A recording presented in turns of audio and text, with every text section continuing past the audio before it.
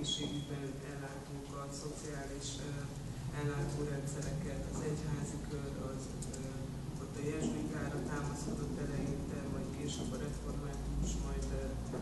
egyéb egyházak is beléptek, illetve nem sok civil szervezet volt jelen, ezért is igényel a dialóg és